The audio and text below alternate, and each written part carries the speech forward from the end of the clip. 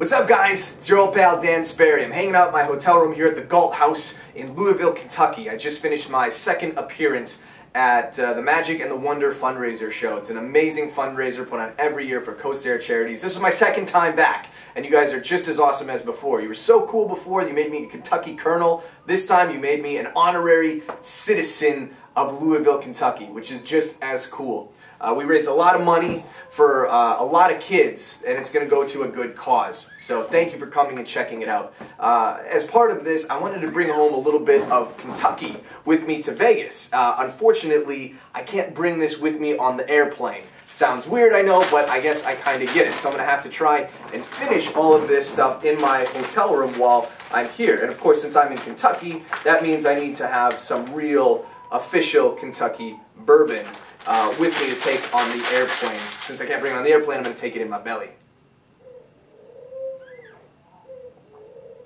Okay. So here's to you, Louisville. Here's to you, Kentucky. Here's to everybody that came out to help support an amazing show. Thanks for having me. We'll see you guys next time. Ugh.